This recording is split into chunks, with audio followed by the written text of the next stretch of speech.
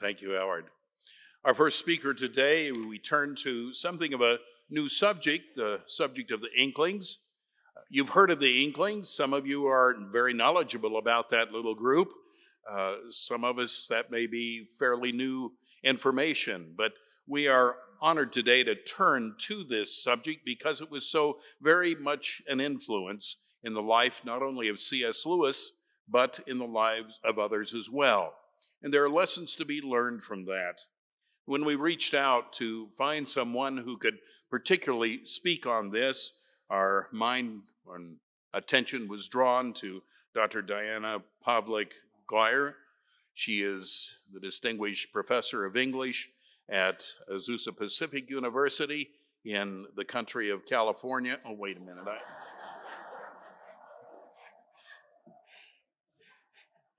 anyway, she's come the longest distance of any of our speakers, with the exception of Doug Gresham. And we are honored to have her here. She is uh, well known as a writer on a number of subjects, but particularly with the Inklings. So, Diane, we welcome you to Montreat.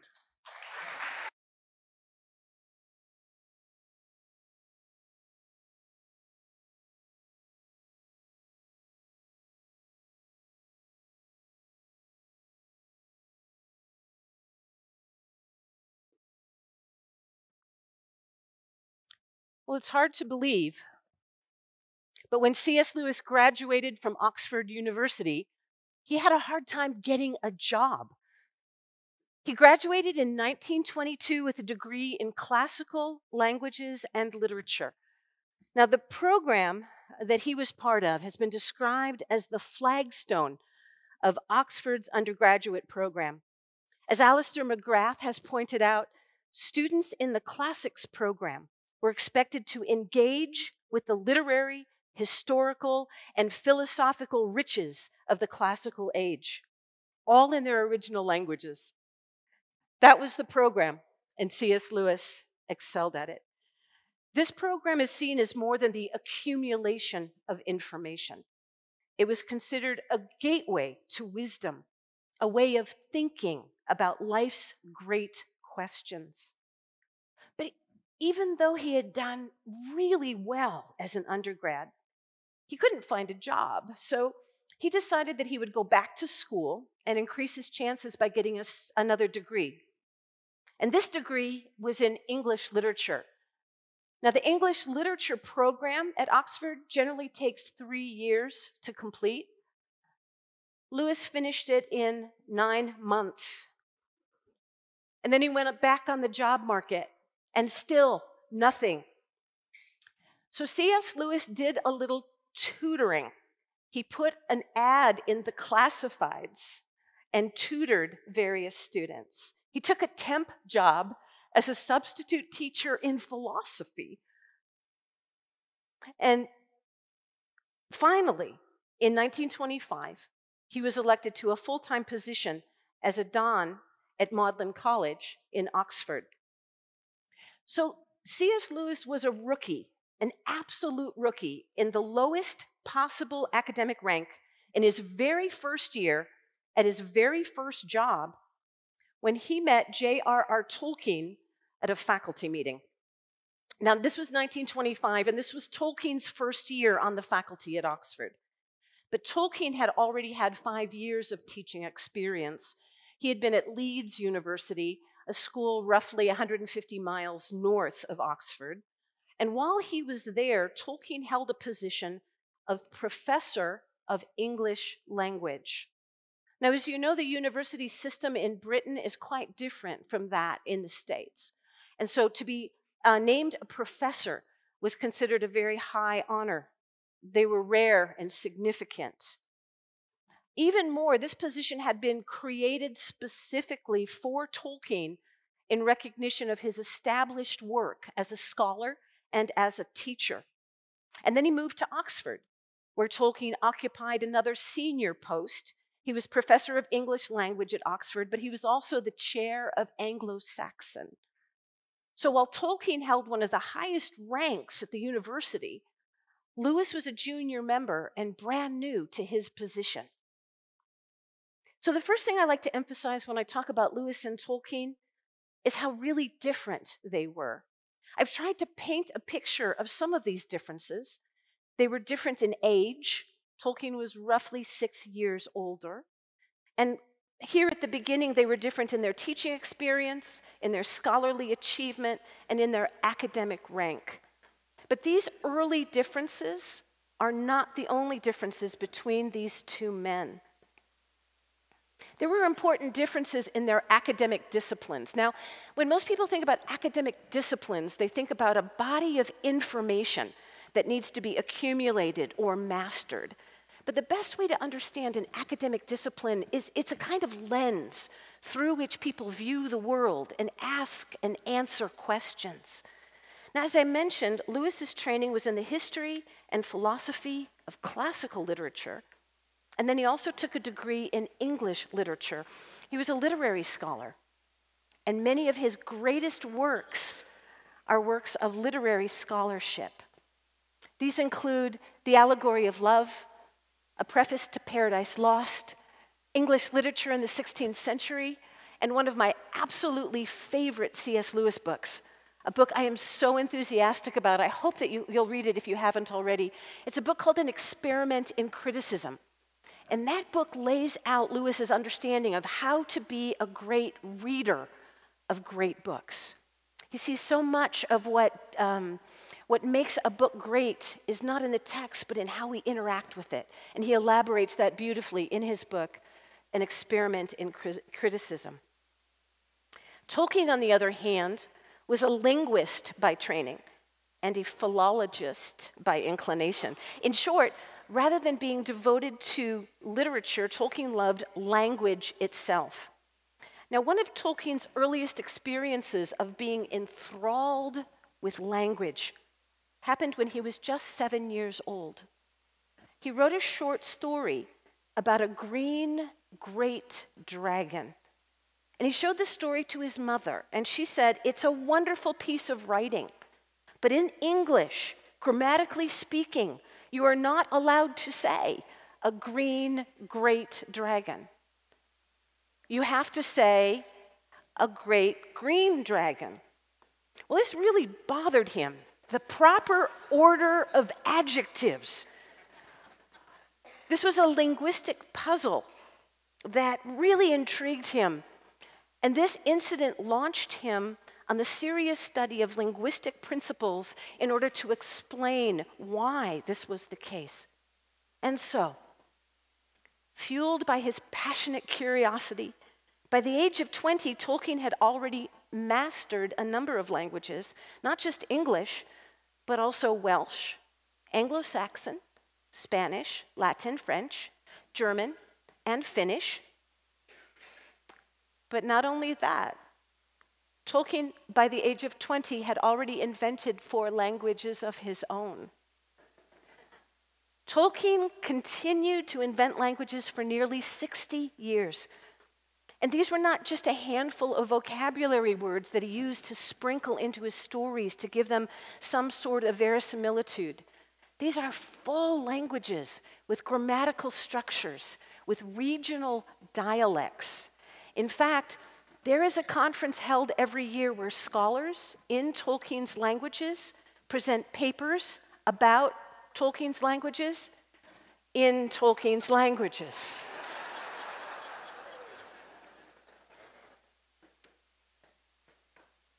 now, you may know that Tolkien was not only a scholar and a writer, but he was also an artist. And with his languages, he also invented beautiful alphabets to go with them. Now, this language here, this is called Tengwar. The word Tengwar is the Elvish word for letters.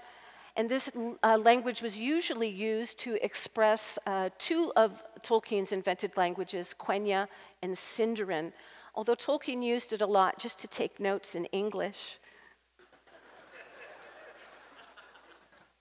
this is another one of his languages, a runic alphabet called Cirth. Uh, it is um, in the age of the ring, the War of the Ring, this language was primarily used by the dwarfs. This was the sort of thing that he loved. In short, language was Tolkien's passion. As a professor at Oxford, he declared that, quote, language is the real thing in schools, end quote. Now, I want you to think about this, those of you who are educators or who speak into schools and education systems. Tolkien believed very strongly that language study was the basis of a liberal arts education. And he vigorously promoted an entire curriculum that was based on the study of language, believing that if people understood the structures of linguistics, then they could read anything well. It was the only proper foundation for a good education. Not only that, but Tolkien uh, wrote his first professional publications as works of linguistics. Uh, a Middle English vocabulary is his first important publication. It's basically a glossary of Middle English words. He also was inordinately proud of himself for writing a lot of the entries in the Oxford English Dictionary. Now, there's stories that are somewhat apocryphal, but I sort of believe them anyway. And that's that when people got into arguments, one of the things that Tolkien liked to do is give the definition of a word. And when he was questioned, he would say, Stop, stop. I know what I'm talking about. I wrote the OED.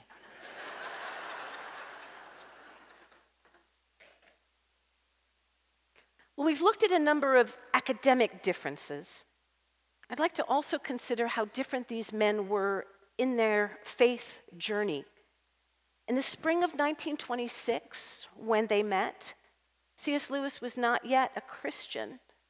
In fact, he had just published his second book, a long narrative poem called Dymer. And in the poem, Lewis attacks Christianity, treating it as an illusion that must be overcome and destroyed in one's life. And back a few years earlier in his first book, Spirits in Bondage, Lewis wrote a number of poems that are angry and defiant and frankly quite painful to read because his bitterness is palpable, as in this excerpt of a poem called De Profundis. Lewis writes Come, let us curse our master ere we die for all our hopes in endless ruin lie. The good is dead. Let us curse God Most High. Four thousand years of toil and hope and thought, wherein men labored upward and still wrought new worlds and better, thou hast made as naught. We build us joyful cities, strong and fair Knowledge we sought and gathered wisdom rare. And all this time you laughed upon our care. Now, in stark contrast to Lewis, during the same period, Tolkien was a devout Catholic, sincere in his faith and devoted to reverence, worship, and prayer. In fact, Tolkien had been a devoted Christian since childhood and remained so all of his life. Now, these two differences between Tolkien and Lewis, differences in faith and differences in their academic backgrounds, they may seem minor to us, but they were really huge. Lewis wrote this. He said, My friendship with Tolkien marked the breakdown of two old prejudices at my first coming into the world, remember he was, uh, I grew up in Northern Ireland. At my first coming into the world, I had been warned never to trust a papist. And at my first coming into the English faculty at Oxford, I had been warned to never trust a philologist. Tolkien was both. Well, as years went by, Tolkien was to be instrumental in Lewis's conversion. David Downing yesterday illustrated for us some of the steps in Lewis's faith journey, and Tolkien was very instrumental in that long uh, journey to faith. There's another contrast between Lewis and Tolkien that I'd like to mention, and that's this they were very different in terms of their temperament. Lewis was known for his robust sense of humor, his booming voice, his hearty laugh. He was taller than Tolkien by nearly three inches. Here's a description of him from one of his Oxford colleagues, quoting now Perhaps the first thing you notice about Lewis, he had an extraordinary red complexion. He had rather solid, well marked features, a clear, emphatic voice. But not only that, he always dressed very informally. He always wore a tweed jacket and flannel trousers, which was at the time the uniform of the undergraduate population. End quote. So here was a teacher who dressed like a student. His old tweed coat, his baggy flannel trousers, and his floppy hat are mentioned in most descriptions of his appearance. He was casual, stocky, emphatic, joyful, loud and boisterous and expressive. C.S. Lewis enjoyed life. He enjoyed people, and he was a man with broad, eclectic tastes. Now, Tolkien was a different sort of person altogether. He was shorter than Lewis. He was five feet, eight inches tall. He was rather slight, thin. He was underweight for most of his life. And he was also always impeccably dressed, from his necktie down to his polished shoes. Tolkien nearly always wore a coat and tie, and he loved to wear colored vests, often vests that were covered with fancy embroidery. One of Tolkien's students described his teacher this way Tolkien came into the room lightly, gracefully. I always remember that. His academic gown flowing, his fair hair shining. And he read Beowulf out loud. He read like no one else I have ever heard. He was a great teacher and delightful, courteous, and ever so kind, end quote.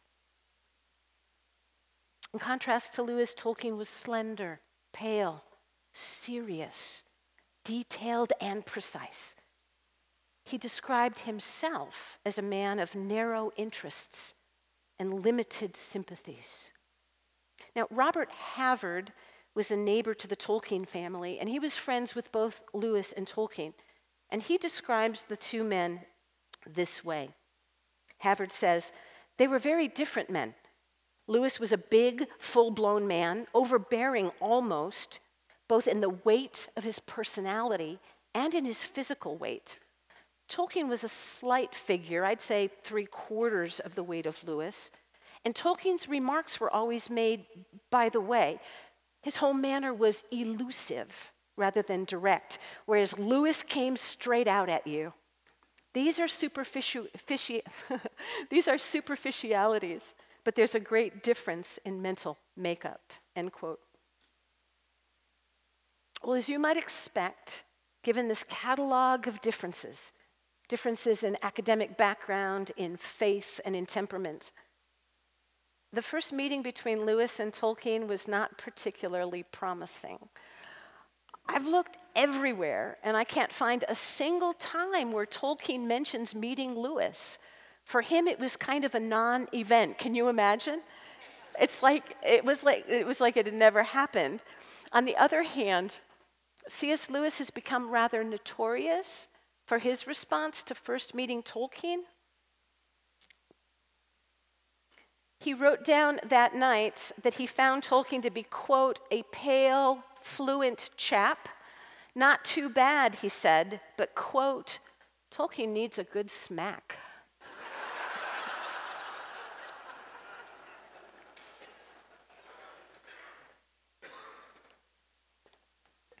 well, uh, to say the least, this was not a very auspicious beginning for the two, but things changed when Lewis joined a group that had been founded by Tolkien. The group was called the Coalbiters. It was a club devoted to studying old Icelandic sagas, specifically the Eddas, in their original languages. So they would all have a piece of the text, and they would uh, translate it on the spot, trying to, to translate it into English and then discussing it together. And the first saga that Lewis Tolkien and the Coalbiters worked on together was the younger Edda of Snorri Sturluson. And in the original language, it looks something like this. Now, now, sitting around reading ancient myths in Old Norse really is not my cup of tea. But Lewis loved these old stories, and the chance to study them in the original languages was, for Lewis, a lifelong dream come true. Late in life, Lewis wrote another wonderful book called The Four Loves. And in that book, he says that, lo- that lovers, romantic lovers, gaze upon one another. Their gaze is inward to the significant other. But friends, friends stand shoulder to shoulder and look outward at a common passion, a common interest. Lewis and Tolkien became friends because of the coalbiters. As friends, they were both looking to the north. As Colin Duriez puts it, they were enchanted by a vast northern world with pale skies, dragons, and the value of courage against darkness. Together, their gaze was fixed on stories, on the Norse sagas that both men had loved all their lives. And this was the forge of their friendship. And that's the second thing I want to emphasize this morning. Not just how different they were, but this idea that their friendship was forged by their devotion to a shared activity. They crossed the bridge of difference that divided them by sitting shoulder to shoulder, pursuing a common interest, and studying stories that both of them loved. That's the second thing, and here's the third. Their friendship deepened as they made a decision to spend time together regularly. Here, here's what happened. After the meetings of the Coalbiter came to an end, Lewis and Tolkien decided to schedule time to meet together one day a week. It is the smallest, simplest decision that one could make. Once a week, Tolkien would go over to Lewis's rooms, the two men would chat a while, and then they'd walk across to the Eastgate Hotel where they would talk and have lunch. They would chat about school politics. They continued to talk about books they were reading. And Lewis described these regularly, regular Monday meetings as one of the most pleasant spots in his week. Now, after meetings had gone on like this for almost a year, Tolkien made a decision to take their friendship to a different level. Um, we don't have a lot of good evidence about exactly what happened at that meeting, but I picture it something like this. The two men have had their chat, they've had their lunch, they may have indulged in a beer or two. It's December 1929, and it's kind of cold outside, that sort of drizzly cold. And as they stand to leave, Tolkien grabs his big overcoat, and he notices that in the pocket of that overcoat, he has stuffed a copy of a manuscript that he's been working on. It's a manuscript called The Lay of Leithian. It tells the story of Beren and Luthien, one of the key stories in Tolkien's uh, legendarium, the background stories that inform The Lord of the Rings. It tells the story of a man and an elf woman, and these characters, Beren and Luthien, are based on Tolkien's own courtship of his beloved wife, Edith. In fact, when you have a chance to go back to Oxford, and I hope you will, visit their grave, and you'll notice that on Tolkien's grave it says Beren and Luthien there, even on that gravestone. The story was so precious, so close to Tolkien's heart. So there he is, and he notices that he's got the manuscript, and he's been laboring over this thing late nights for weeks now. And all of a sudden, he sort of turns back to Lewis and he says, I don't know, something like this. He says, uh, he says, Lewis, uh, I, I, um, uh, uh I, I, have been working on a, I've been working on a poem. I, I've written a poem. Would you like to read it?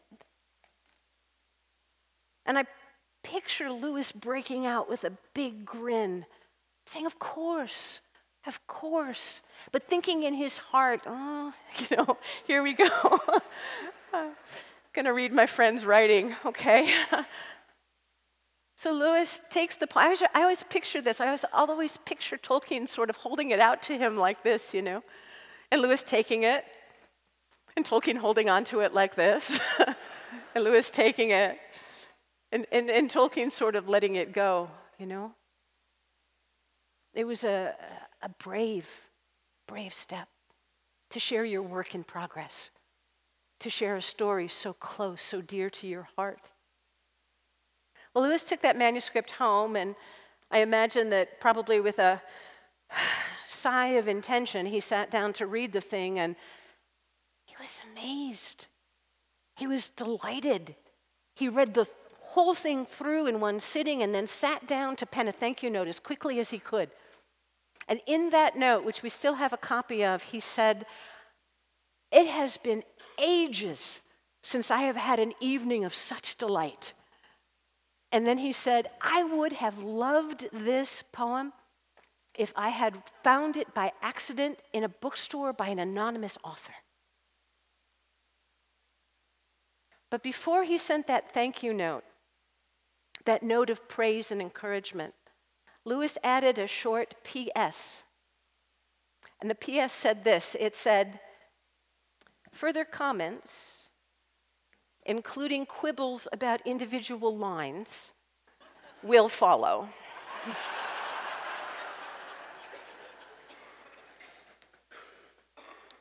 Well, Tolkien sat on pins and needles for three weeks waiting for the quibbles to arrive, and when they did, he was astonished to discover that C.S. Lewis had penned 14 single spaced pages of comments and quibbles. And not only that, here's the cheeky part Lewis had rewritten great sections of the poem.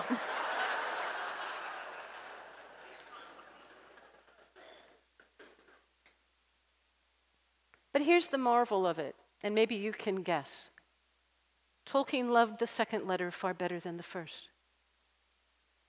Because for the first time in his life, he found someone who had taken his vision seriously, who believed in what he was doing, who believed in it so strongly that he lavished his very best attention to making sure that that work was the very best it could be to bring out the best, not only in the poem, but in its author. One of the most important gifts that Tolkien had ever received. Well, that step of courage, Tolkien sharing this poem, Lewis responding with such gracious abundance as a resonator somebody who fundamentally understands the work and what it's about and what Tolkien was attempting to do and helping him get there. That turning point changed everything. Because shortly thereafter, December 1929, January 1930, right in that period, Lewis showed up at one of their meetings with some poetry of his own. And it was the exchange of that literature that became the, the core the kernel, right? The, I think of it as a, a, a grain of sand in the oyster. That's the center of what became the Inklings. As the group grew and developed, this habit of substantial, specific critique remained a hallmark of the group.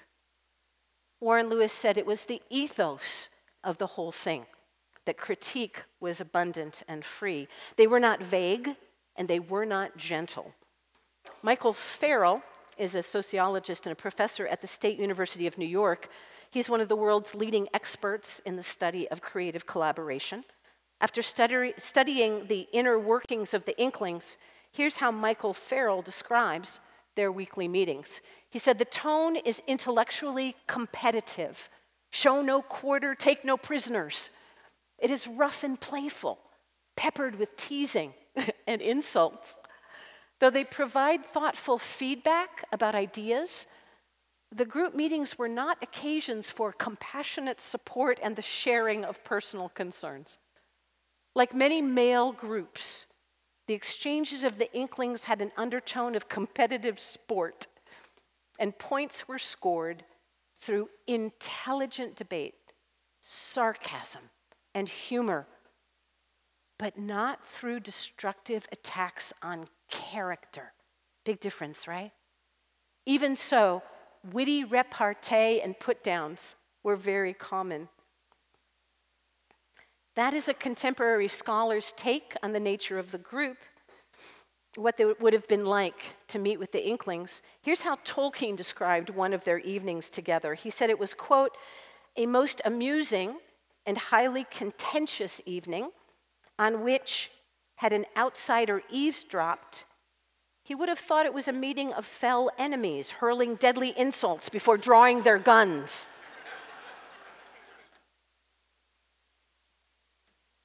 The friendship of Lewis and Tolkien illustrates the power and the importance of dyads, that is, pairs of creative individuals who are fundamentally different in temperament, in vision, in background, in training skills and interests, who spend time working together side by side and as a result accomplish far more than either could on their own. It is common to hear people say that Lewis and Tolkien became friends despite their differences. I'm here today to argue that they became a dynamic creative force because of those differences. I've discovered that when you look beneath the surface and study the history of clubs, organizations, literary movements, and other kinds of collaborative circles, it is actually quite rare to see a group that forms around one dominant creative genius. Most often, collaborative circles, creative clusters, they come into being in what's called the transactional space between two people and their dynamic interaction. Now, a dyad is a pair of individuals in this kind of dynamic partnership, often characterized by strong contrasts in approach and brutal honesty in the way they deal with one another. Dyads are extremely common in creative fields like music, literature, and painting, but they also appear in practically every other collective that you can think of in industry, technology, religion, science, research, and politics. Now, one of the best known dyads, at least in my generation, is the partnership between John Lennon and Paul McCartney. Although they often wrote independently, and many Beatles songs are primarily the work of one or the other, almost all of their songs are the result of the work of both songwriters. Sometimes one would sketch an idea or a song fragment and take it to the other, who would add a bridge, write the chorus, finish a section, speed up the tempo, or just change things around. When John Lennon was asked in, about their creative process, he emphasized their differences. He said Paul provided a lightness and optimism, while I would always go for the sadness, the discord. I would include the bluesy notes. He described this process as writing eyeball to eyeball. And working in this way, together the two men wrote more than 180 songs. It is one of the best known and most successful collaborations in history, and much like Lewis and Tolkien, these opposites thrived. Think a little bit about some of these partnerships or these dyads. I was very uh, interested to find out that Sigmund Freud did not come to many of his ideas on his own, but did so, again, in the transactional space uh, between him and another. Steve Jobs and Steve Wozniak, right? The origins of Apple happen in a dynamic and often tense friendship between two men very different in temperament and outlook. Um, Vincent van Gogh and his brother Theo, very strong in their partnership, uh, very dynamic, and the work uh, that we uh, tribute to Vincent van Gogh is actually a collaborative work in its essence. I'm amazed by how many different um, realms of invention are marked by dyads, how much all of us owe to this pattern. The iPhone in your pocket, the right for women to vote, the invention of the airplane that provided a way for me to get here all the way from what, what was what did you call it? The country of California? All of these breakthroughs were the result of dynamic pairs partners with different strengths and complementary points of view Maybe you can think of others, perhaps people that you know, pairs of people who have accomplished something amazing and who then became the core of something much larger, something that changed our world. Now, some of these were rocky partnerships. Not all of them ended well. But in the meantime, the rough magic of these friendships became the core that formed some unbelievably beautiful accomplishments founding organizations, spearheading political reforms, leading medical breakthroughs, and making beautiful music. Why are friendships and collaborations like this so very important? Why do they work so well? And what lessons can we learn from them? There's so much to say about these kinds of dynamic pairs and the ways that they catalyze important breakthroughs, but I want to zero in on just one aspect of it. It seems clear to me that we are all created by God to connect with one another and to bring out the best in one another. That, I think, is why it is so significant that we gather together here in person in this auditorium for an event like this one. And I am so grateful for the organizers and the volunteers and their sacrifice of hours and creative thought that went into providing all of these riches for us. It seems clear to me that getting together like this is an important part of the way that we were designed physically. And here's what I mean. In trying to understand what made the Inklings so successful, I've been learning a little bit about two concepts the mimetic impulse and what are called mirror neurons. One of the most important breakthrough studies on this subject was done back in the 1970s. Researchers were very interested in discovering more about how babies learn to talk. And so they did a series of experiments with this, and what they discovered, in essence, is this that babies learn a lot from their environment, but they learn much, much more from one other person who holds them and looks at them. They were able to determine that there are measurable gains not only in linguistic capacity, but actually actual physiological changes that take place in young infants when they are held and gazed upon eye to eye. Isn't that extraordinary? Our physicality hardwires us for being together, even at an event like this. But here's the startling discovery that those researchers made. Here's what surprised them. The babies weren't the only ones that showed measurable gains in their intellectual capacity. The caregivers also grew and changed in their understanding, in their empathy, in measurable ways.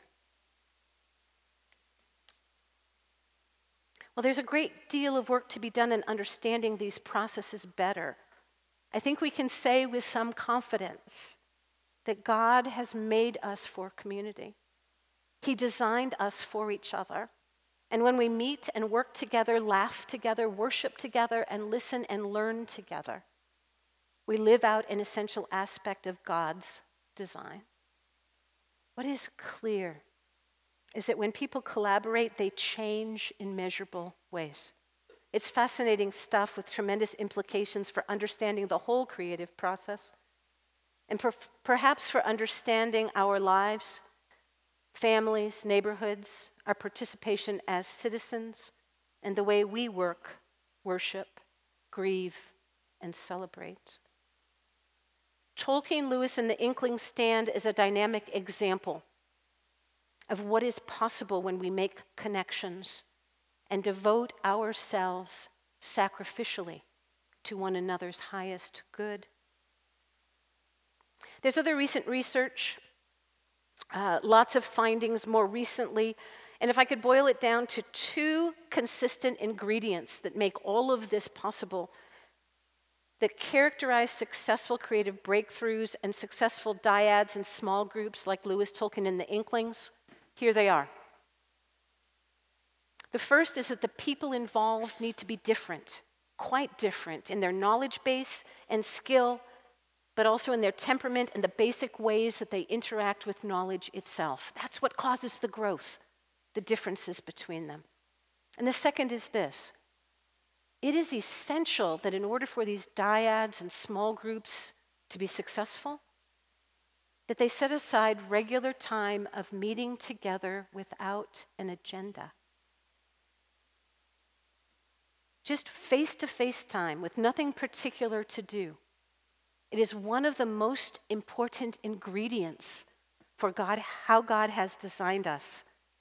and how our gifts can be catalyzed and well used.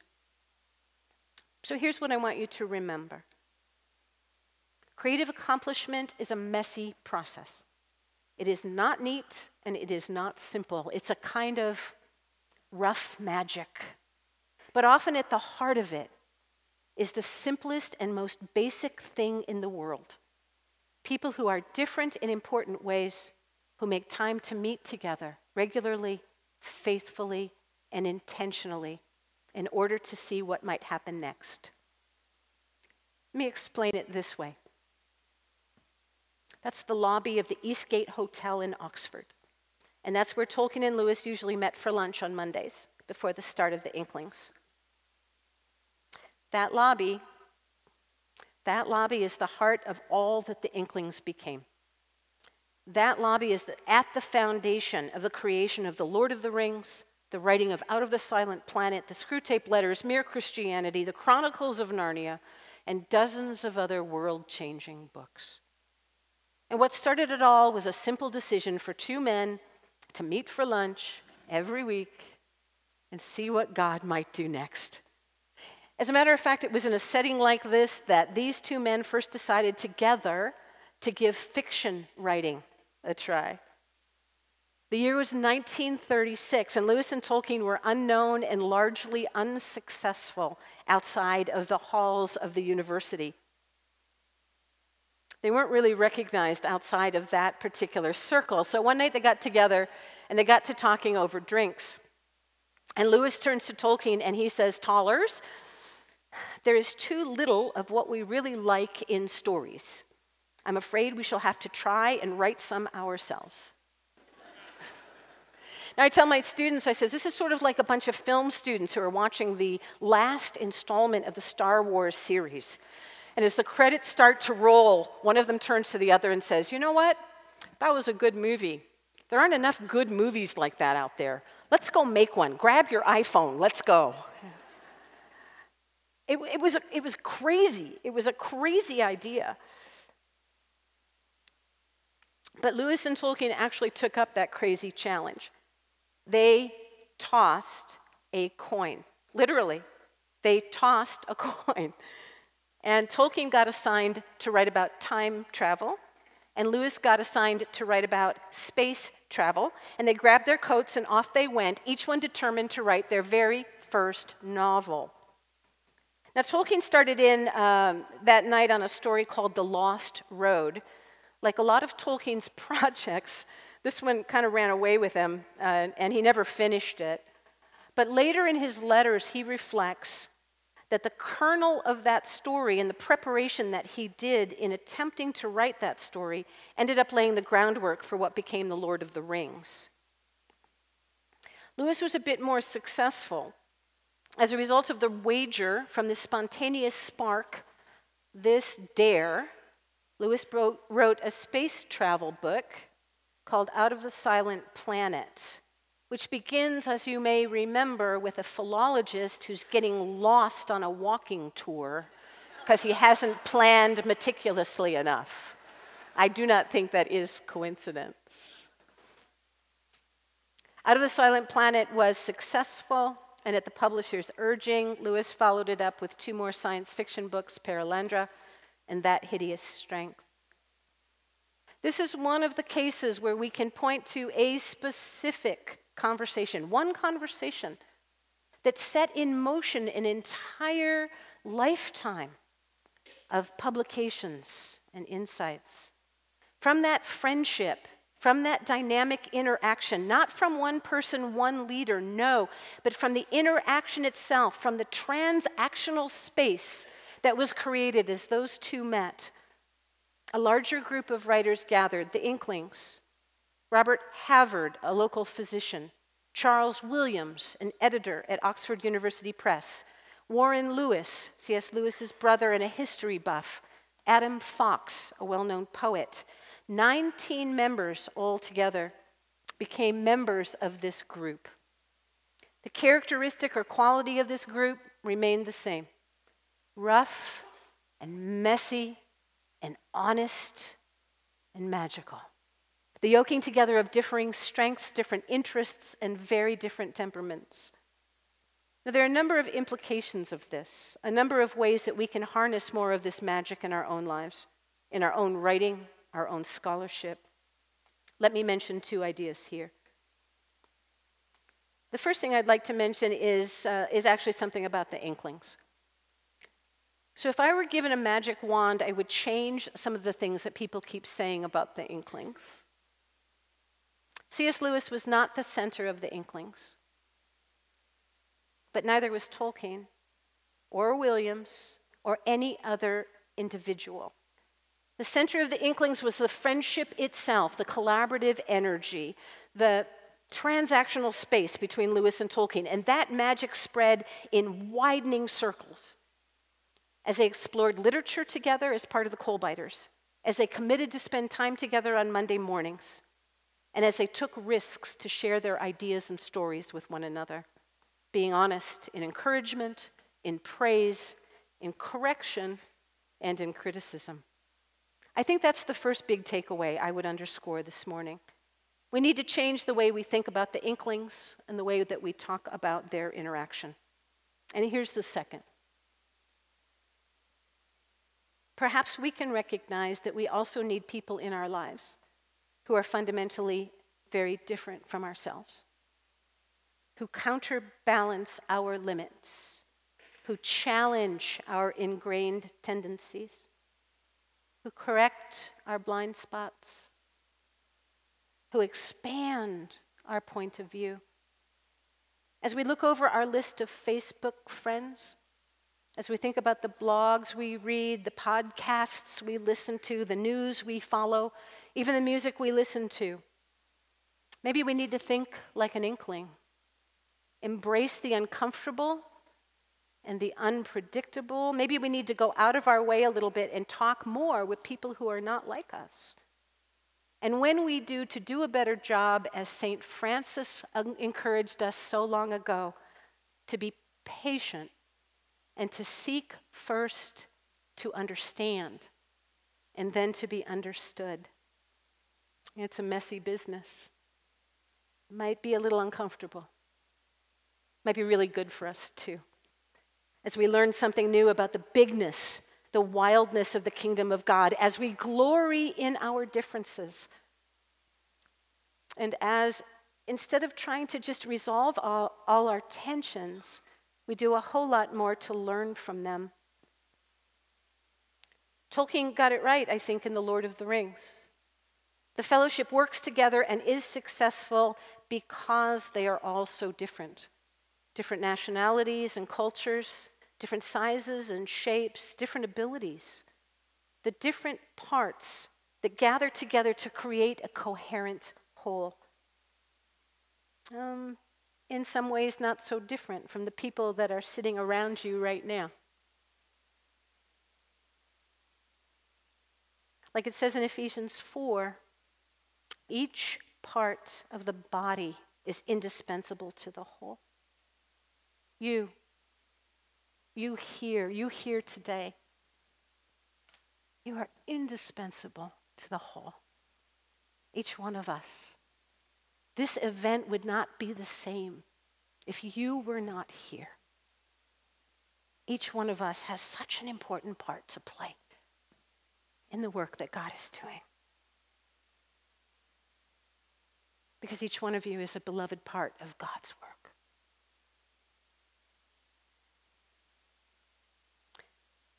As the Inklings worked together, their differences in personality, perspective and gifting stimulated fresh thought, encouraged creative risk, and inspired new directions.